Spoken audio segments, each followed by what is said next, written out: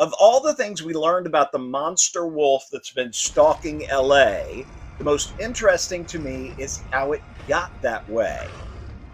We've learned over the first half of the first Wolfpack season that werewolves in this universe can be either wolves, like the Cubs Ranger Briggs found and brought home all those years ago, or they can be human shaped, which is the form that Luna and Harlan took shortly after they were found.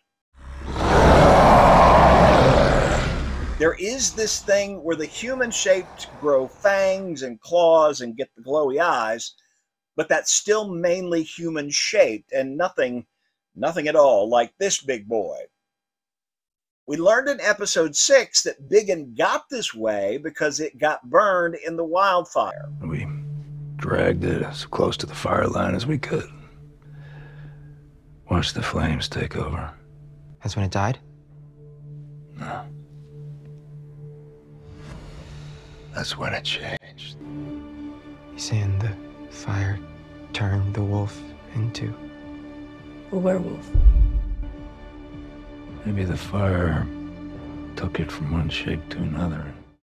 So, if that bit is true, we may have what is a brand new werewolf myth. I did some research. That means I did a couple of hours of Googling and an hour probing Chat GPT and neither I nor the AI could find any reference to fire making a regular werewolf into a monster.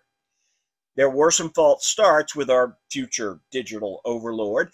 It thought it had found something where a loup-garou becomes a more monstrous rougarou through the application of fire, but that turned out to be erroneous, a glitch in its matrix, I guess. I can find nothing mentioned anywhere in the vast archives of the planet. So it appears that Jeff Davis has created an entirely new folklore for his brand new werewolf universe. And I, for one, am very interested to see where this goes. Wolfpack streams new episodes on Thursdays on Paramount Plus.